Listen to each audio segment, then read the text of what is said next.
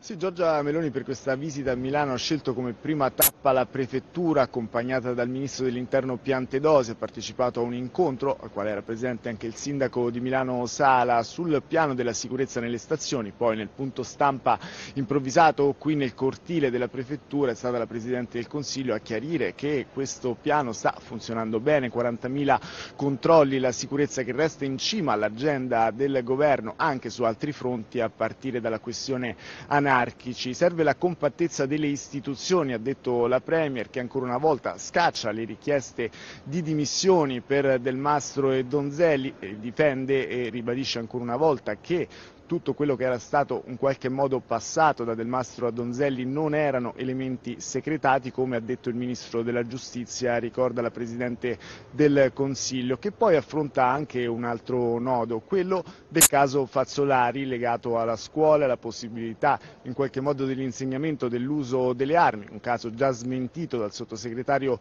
alla Presidenza del Consiglio, su questo torna Meloni per dire un caso che per me non esiste, che è stato già smentito. La sentiamo. Guardi, il caso lì, io, eh, il caso secondo me è un altro, se posso dire, è che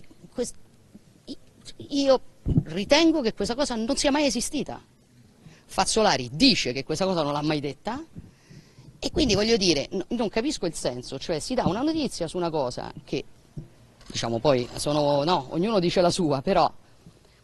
e quando viene smentita da tutti gli interessati, forse uno ne dovrebbe prendere atto. Invece qui si continua a parlare di cose che potrebbero non essere mai esistite. Giorgia Meloni che poi rassicura anche sulla compattezza della coalizione di centrodestra nella maggioranza e anche con i ministri un rapporto che va avanti sui temi e andiamo avanti con velocità, questo dimostra quanto il governo stia lavorando bene, sottolinea la Presidente del Consiglio che tra poco parteciperà proprio a un evento di coalizione per sostenere Fontana, l'appuntamento al Teatro dal Verme, ci sarà l'intervento della Presidente del Consiglio poco prima del candidato proprio del centrodestra per queste regioni regionali che ricordiamo è il primo test elettorale di fatto per il governo con Meloni che domenica aveva sostenuto il candidato nel Lazio, oggi è qua per Fontana. Per il momento è tutto da Milano a voi.